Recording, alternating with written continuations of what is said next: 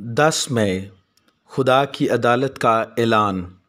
खरूज की किताब, उसका ग्यारहवा बाब। खरूज ग्यारहवें बाब में मिस्र पर आने वाली आखिरी आफत का ज़िक्र मिलता है।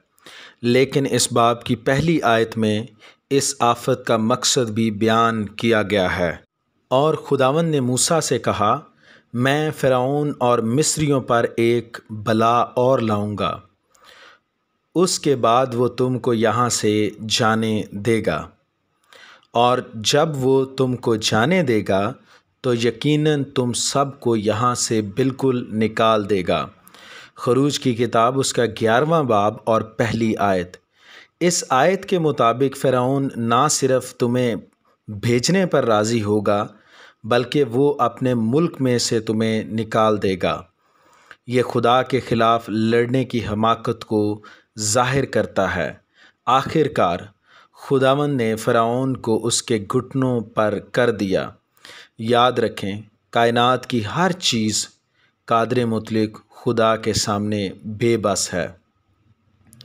जब इसराइली मिस्र को छोड़ने के लिए तैयार थे तो खुदा ने उनको ताकीद की कि उनमें से हर शख्स अपने पड़ोसी और हर औरत अपनी पड़ोसन से सोने चांदी के जेवर ले।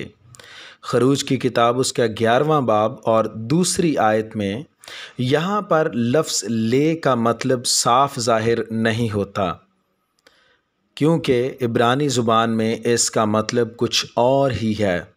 इब्रानी में ये लफ्ज़ शाल है, जिसका मतलब पूछना है। बस इसराइलियों से कहा गया था कि वो मिस्रियों से अपनी पिछली उजरत भी वापस ले लें। खुदा ने फ़िरौन का बहुत इंतज़ार किया कि वो बदल जाएगा और मूसा बड़े तहमल से फ़िरौन को आने वाली आफ़तों के मुतलिक ख़बर देता रहा।